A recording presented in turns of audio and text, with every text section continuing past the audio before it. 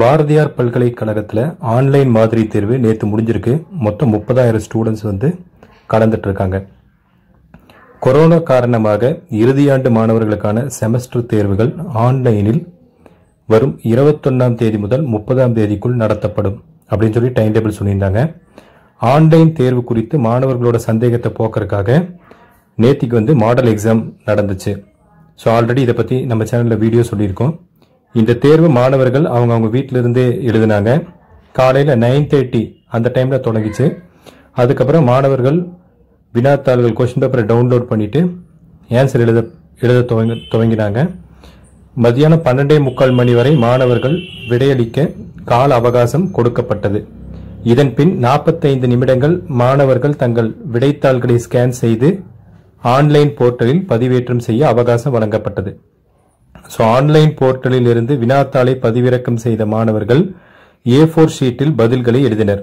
இதில் ஐந்து மதிப்பெண் பத்து மதிப்பெண் இருபது மதிப்பெண் வினாக்கள் இடம்பெற்றுள்ளன. இறுதியில் தாங்கள் எழுதிய விடைத்தாள்களை மாணவர்கள் ஸ்கேன் செய்து குறிப்பிட்ட அளவு மற்றும் வடிவில் ஆன்லைன் போர்ட்டலில் பதிவேற்றம் செய்தனர். மாதிரி தேர்வில் சுமார் முப்பதாயிரம் பேர் பங்கேற்றனர். வாட்ஸ்அப் குழு. பாரதியார் பல்கலை துணைவேந்தர் காளிராஜ் சொல்றாரு செமஸ்டர் தேர்வுகளை மாணவர்கள் எதிர்கொள்ள இது பயிற்சியாக இருக்கும். ஆன்லைன் தேர்வில் ஏதேனும் தடங்கள் ஏற்பட்டால் அதை சரி செய்ய இருபத்தைந்து மாணவர்களுக்கு ஒரு ஆசிரியர் என்ற விகிதத்தில் ஒதுக்கியிருக்காங்க. இதில் ஆசிரியர்கள் உடனடியாக மாணவர்களுக்கு தேவையான உதவிகளை செஞ்சு தருவாங்க. இதுக்காக வாட்ஸ்அப் குழு அமைக்கப்பட்டுள்ளது. ஸோ இதே பேஸ் பண்ணி உங்களுக்கு ஃபைனல் எக்ஸாம் முப்பதாம் தேதிக்குள் இறுதியாண்டு மாணவர்களுக்கு தேர்வு நடத்தி முடிக்கப்படும். அப்படின்னு சொல்லி சொல்லியிருக்காரு.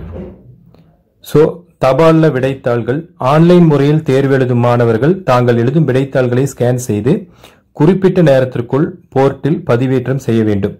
இதன் பின் தங்களது விடைத்தாள்களை அந்தந்த மையங்களுக்கு தபாலில் அனுப்பி வைக்க வேண்டும். விடைத்தாள் திருத்தம் செய்யப்படும் போது ஆன்லைனில் பதிவேற்றம் செய்தது மட்டும்தான் ஏற்றுக்கொள்ளப்படும்.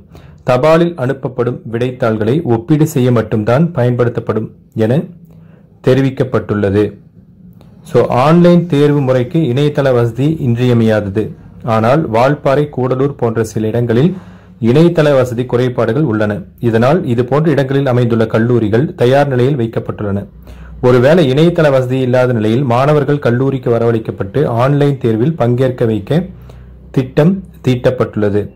ஸோ இதுதான் நேற்று பாரதியார் யூனிவர்சிட்டியில் வச்ச வைக்கப்பட்ட மாடல் எக்ஸாம்களோட லேட்டஸ்ட் நியூஸ் நன்றி மாணவர்களே.